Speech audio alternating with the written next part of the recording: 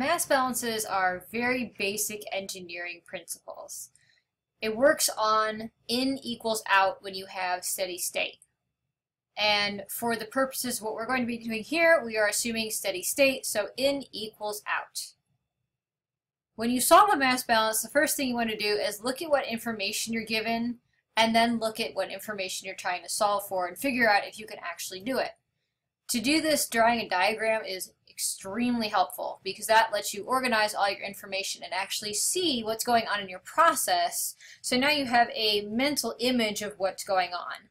From there, you write your equations, make sure your equations equal your number of unknowns, and then it's just a matter of plugging in the numbers and solving.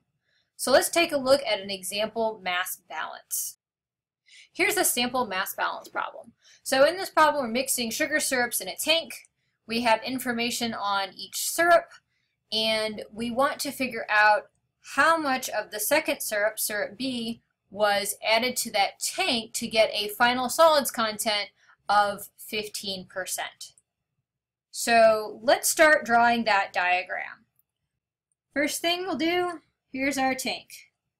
There we go. Engineers are not very good with fancy symbols, so a little box is pretty much all you need for your tank. We'll call it T we have syrup A coming in, we have syrup B coming in, and we have some kind of final syrup, we'll just call that S. So let's make sure that matches up to what's going on in our word problem. We have syrup A and B. Those are our two syrups being mixed in that tank. We've got arrows for A and B, so we're all set there. And then we have our final syrup, and that's S, and that's accounted for coming out. We don't have any other syrups in here, so we're all set with our diagram. Good. Now we understand what's going on.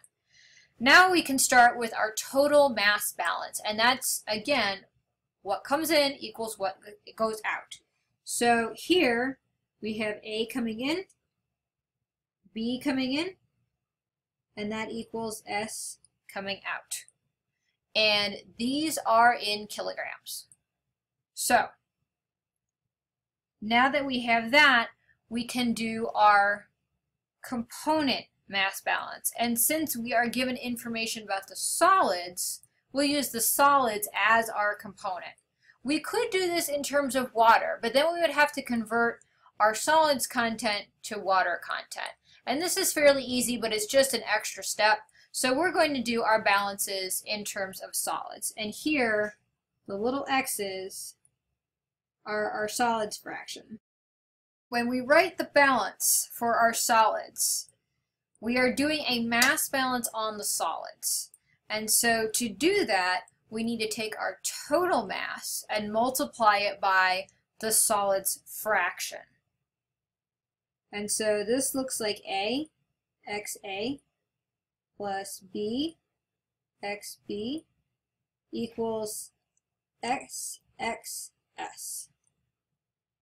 So here, if we just plug in some numbers, if we have a kilogram of A and the solids content in A is 10%, that means we have 0.1 kilograms right here. That's how this equation works.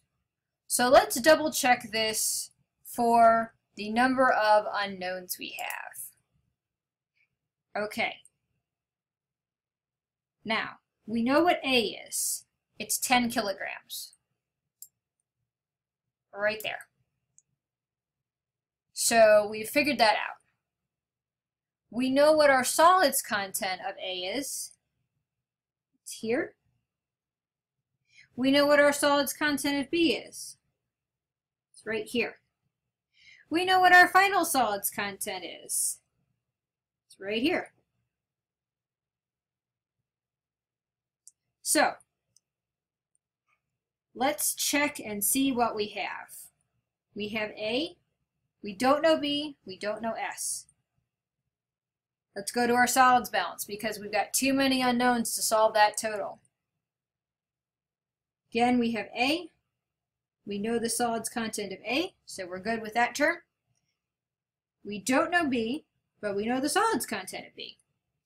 And we don't know S, but we know the solids content of S.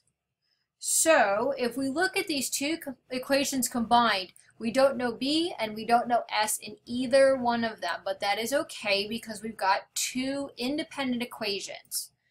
We've got two equations, two unknowns. We can actually solve for both B and S.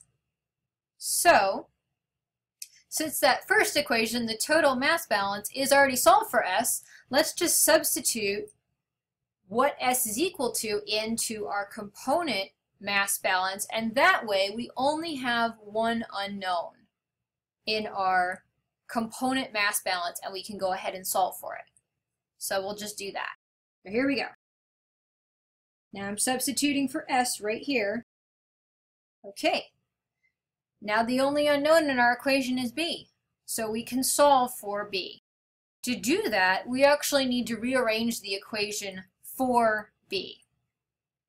So we have to get B by itself on one side and everything else over on the other side. So we'll start by multiplying that xs through on the right hand side. Now that we have that finished, we're going to move all the terms with B in them over to the left and all the terms that are not B over to the right. So let's reorganize. There. All right. Now what we can do is because the terms on the left are both multiplied by b, we can actually pull b out and put the rest of the information in parentheses. So that's going to look like this. And there's our left-hand side. We can do the exact same thing on the right-hand side. So we're just going to pull a out. Okay, there we go. Our final step is to pull that xb minus xs term over to the right side. Now b will be all by itself and we can go ahead and solve for it.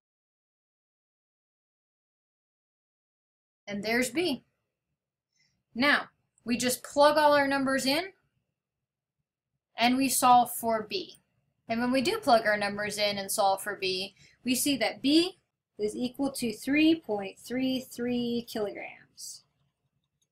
And if you remember, a was equal to 10 kilograms, and so that means S, which is equal to A plus B, is equal to 13.33 kilograms. And there you have it. That's our mass balance.